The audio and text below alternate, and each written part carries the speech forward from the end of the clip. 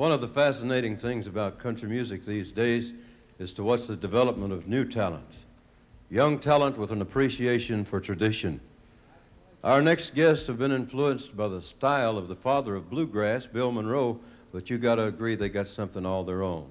We'll be hearing from Bill Monroe later on, but right now, the new and exciting Brush Arbor.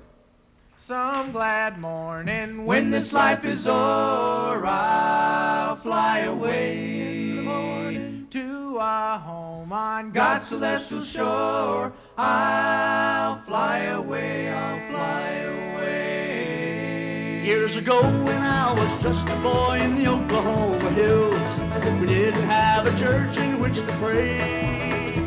So the people got together and they built one of their own, just a shelter made of poles with a roof of hay.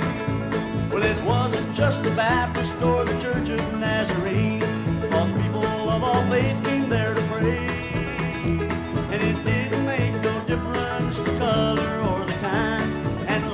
would sing till break of day. When they called it a brush oh, you singing far away, just praising the Lord and shouting victory. I can still hear singing today. There is power, power, wonder power in the precious blood of the Lamb. The churches are so pretty and so nice, and they all have different names upon their doors. But I wish we all would shout and sing like they used to long ago, and come together like they did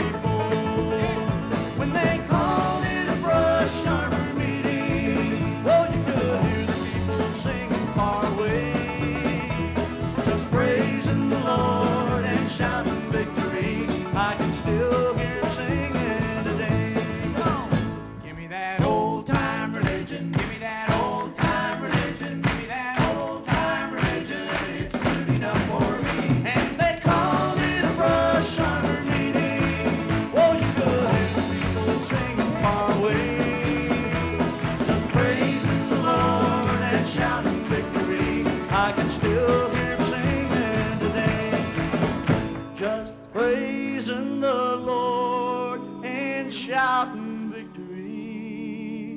I can still singing today.